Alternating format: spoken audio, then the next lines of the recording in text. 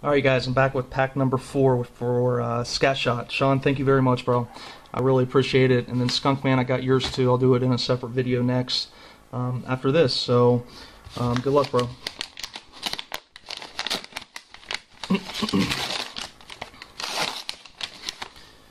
All right, top three. Okay, uh, first got a Champ Bailey, uh, number 29 out of 50 from uh, 07 Sweet Swatch.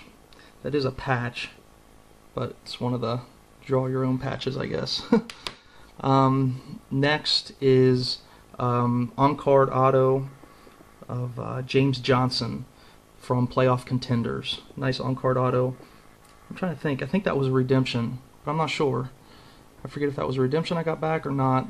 Um, nice looking card. Uh, next, your uh, superstar stickers of Larry Bird. Nice looking card. Pretty well centered too, I think. Um, but nonetheless, nice looking card. Um, next, your uh, Adrian Peterson is from 09 Prestige. It's numbered out of 1,000. you got, what year is this? I just went through all these too. I'm back at two, man. I'm sorry. I'm losing my voice too.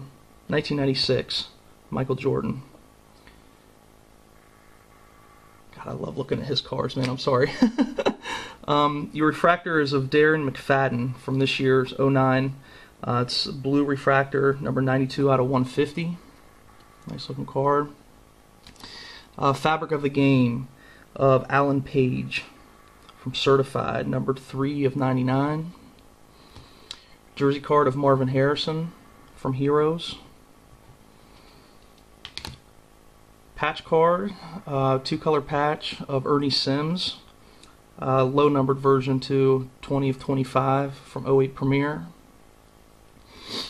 And your two autos, you got a press pass auto of Stephen McGee, Cowboys, and um, the last card is an Aaron Curry uh, from 09 Finest. Nice looking card.